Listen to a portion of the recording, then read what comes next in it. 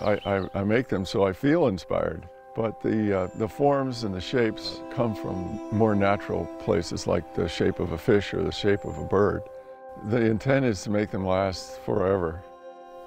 Anthony Howe creates kinetic sculptures, moving, shifting with the wind.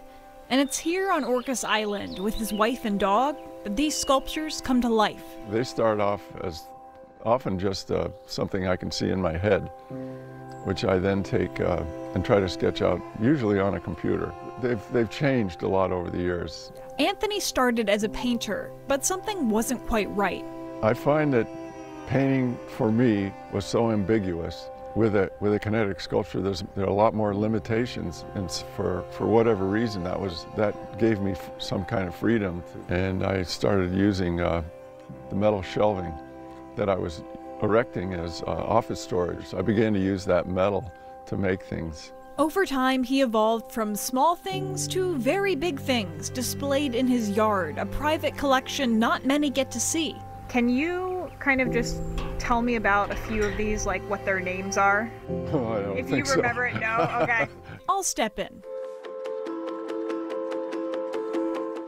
Grid work, waterfall, waves, about face, razor tears. And I named it that because I had a very, very uh, painful eye condition at the time that it, it needed to be named. So the, the motto of that is don't name your sculptures when you're in pain. In his studio, you'll find massive machines, smaller pieces when he needs a break, tools to bring his work to life. The metal is laser or plasma cut, stainless steel and aluminum to last indefinitely. I have some sculptures here that have been here for 25 years. His sculptures are all over the world. They've appeared in fashion shows, the Academy Awards, the 2016 Rio Olympics. How long do they take? They take a lifetime. Everyone wants to know how long did it take you to make this?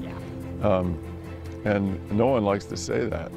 Um, if, if it takes too short a time, then people are un- upset. If it takes too long a time, you're not being honest. But I was told when, when, pe- when people ask you that question, you're supposed to say it takes a lifetime because it's everything that you've been through. You're putting your life into that sculpture.